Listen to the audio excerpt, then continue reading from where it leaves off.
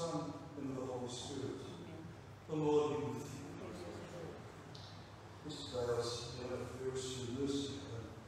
One of the residents asked to uh, speak with you. She, um, she started talking about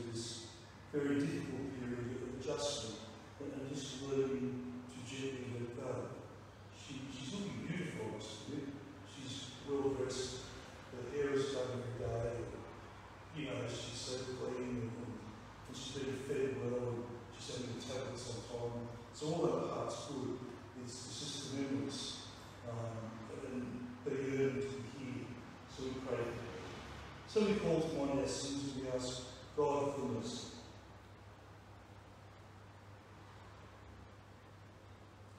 Have mercy on us, O Lord. We have sinned against you. Show us, O Lord, your mercy. and Grant us your salvation.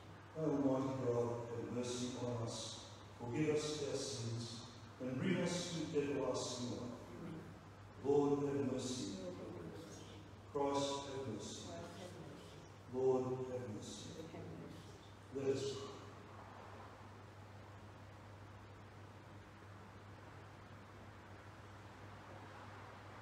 Keep your family safe, Lord, with your unfailing care. So relying on heavenly grace, we may always be defended by your protection. Through our Lord Jesus Christ, your Son, who lives and reigns with you in the Holy Spirit, God, forever and ever. Amen.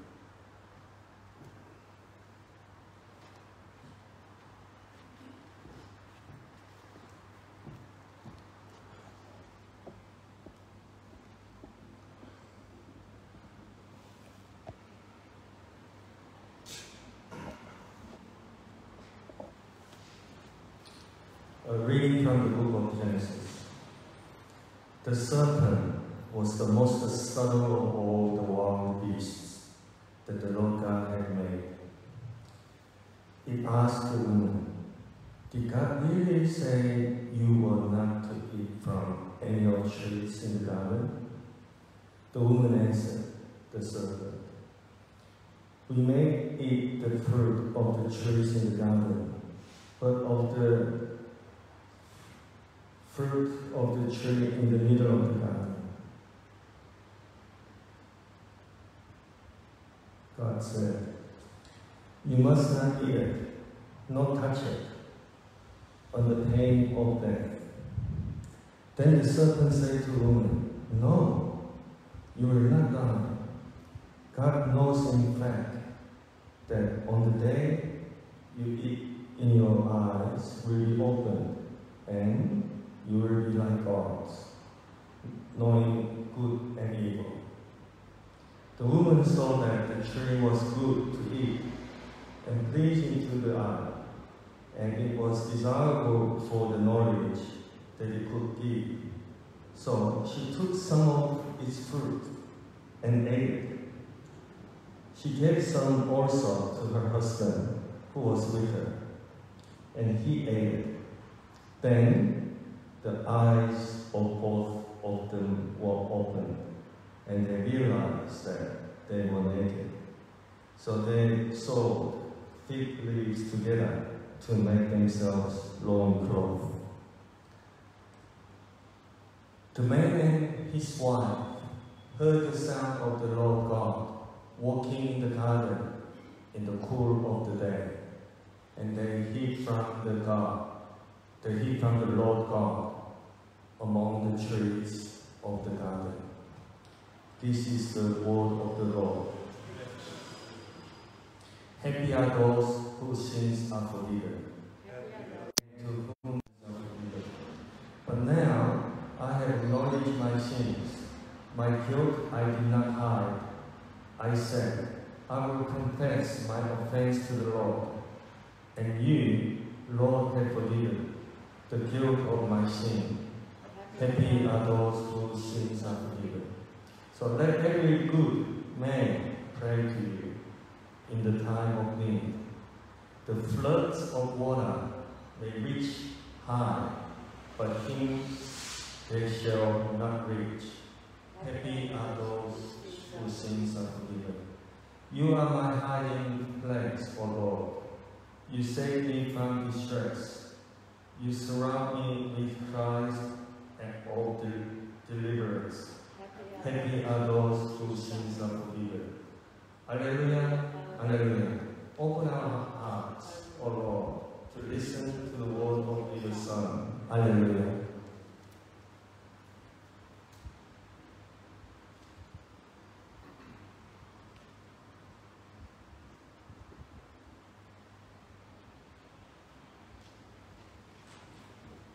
The Lord be with you. A reading from the Holy Gospel according to Mark. Returning to the district of Tyre, Jesus went by way of Sidon towards the Sea of Galilee, right through the Decapolis region. And they brought him a deaf man who had an impediment in his speech. And they asked him to lay his hand on him. He took him aside in private, away from the crowd, put his fingers into the man's ears, and touched his tongue with spittle. Then looking up to heaven, he sighed, and he said to him, Ephphatha, that is, be opened. And his ears were opened, and the ligament of his tongue was loosed, and he spoke clearly. And Jesus ordered them to tell no one about it, but the more he insisted, the more widely they published it. Their admiration was unbounded. He has done all things well, they said. He makes the deaf hear and the dumb speak. The Gospel of the Lord.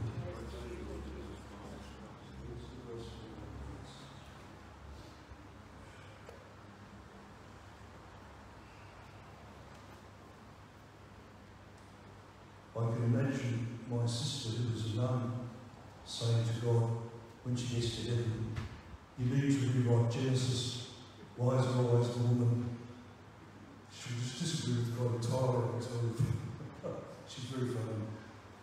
Um, the, the story from Genesis um, has parallels in, in many ancient mythological texts, especially from Sumeria, that seek to, to, to uh, describe the experience, the human experience of alienation and yearning uh, and sadness um, and where we all came from. So our two Genesis stories have equivalents, more ancient equivalents. Um, there is a, a, story of um, two characters. One was dying, and his brother had to go to a sacred tree to get a, piece of the tree to place on him to restore him to life. Uh, but as he crossed the river, he decided to go for a swim. By the time he got there, know, his brother was gone. But there, there are many action bits. But it just describes the, the wanting, our wanting to, to pattern our lives according to what we see is good for us, what gives us life, um, what helps us to grow. And the, the story of Genesis s- tells us that there, is a disconnect in each one of us. Um, that, that always choose to go our way, which is a dead end, rather than the way that gives life, which is God's way. And because we are not God, there are boundaries, because we are creatures. And, and- and so, uh, part of learning to be beloved is, is, is accepting, as it were, the, the boundaries that Jesus has established as the boundaries to give life and growth. Those boundaries are forgiveness. The boundary is humble service. The boundary is washing feet. The boundary is laying down our lives for each other.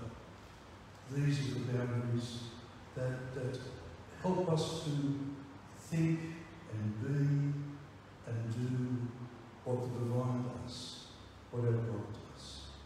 And so we pray for the grace to accept our creatureness. And then we have in the Gospel today the most beautiful recount of, of Jesus' healing of a man deaf and dumb. And we, we see the great tenderness of God in Christ as he takes the man aside to take him away from peering eyes, people staring at him because he's been viewed as a morally uh, decrepit person, someone who is less than them because of his illness. And Jesus does something extraordinary.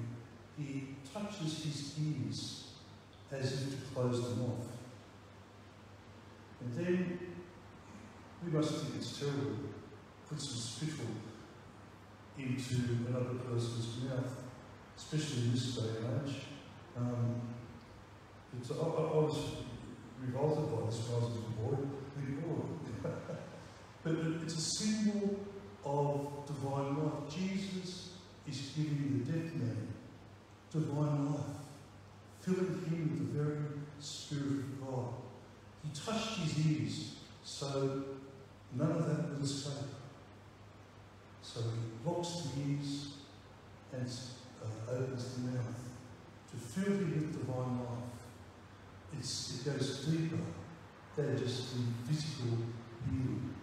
He transforms you totally with the Spirit of the living God. And uh, he is healed and restored. We pray that, that Jesus will put that little spittle on our tongues today at the Eucharist to, to fill us with the very life of God, for whom we are made and for whom we yearn. And then in turn we can open each other's ears to discovering who we truly are and how valued and treasured each one of us is in God's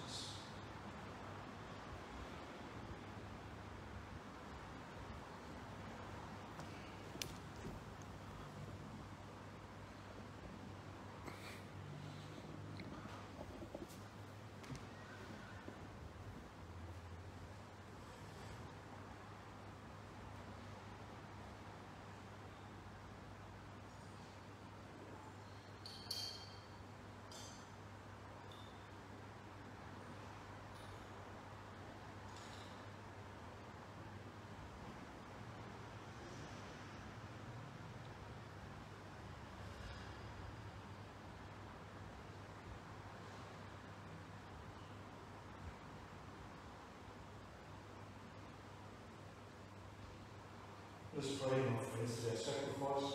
May be acceptable to God, our loving Father.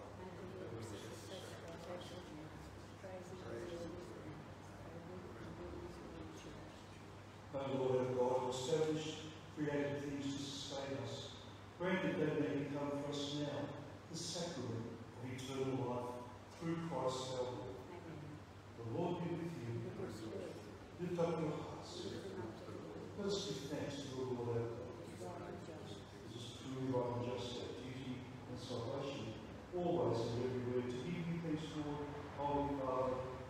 He brings the world through Christ our Lord.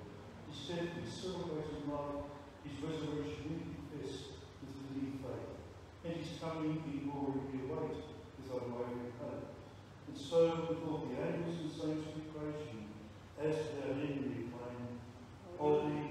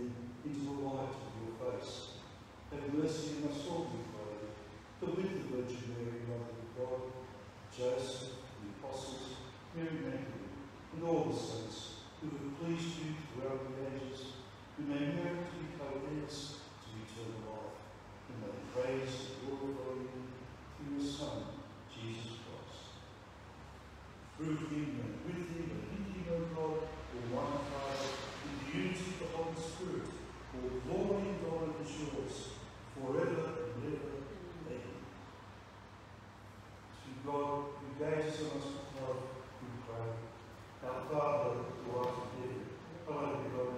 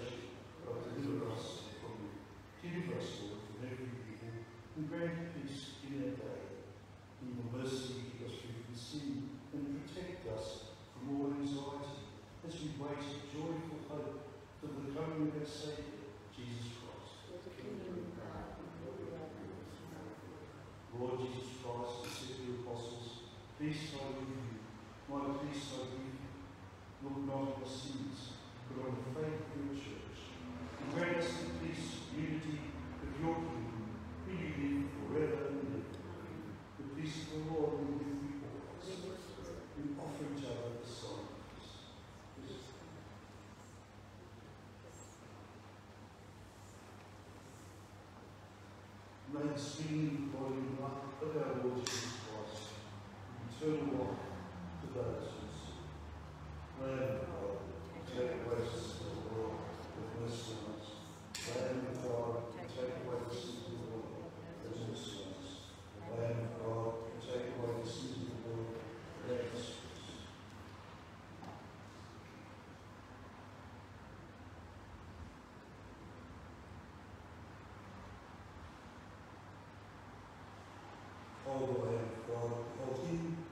Who takes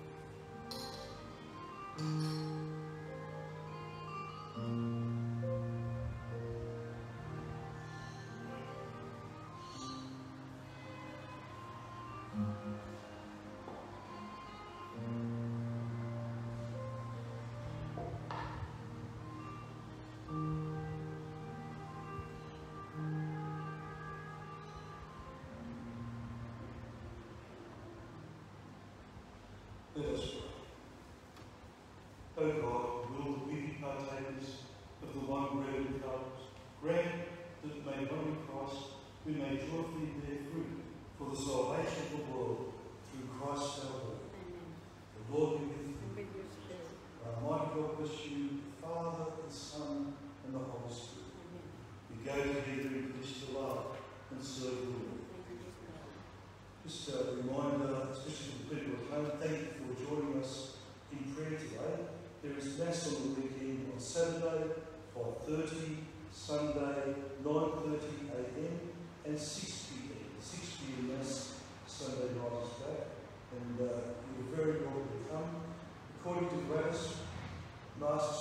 for those who might like to do it. Um, and you've got to be spaced two metres rather than four metres. Wow, that's wonderful. So we look forward to you joining us here for We're going to move over now to, um, it's actually the statue of our Lady of and uh, we're going to pray for all of our parishioners. We're going to commend uh, our parish to Mary, especially to begin with next Wednesday that for all of us in the time of great growth and great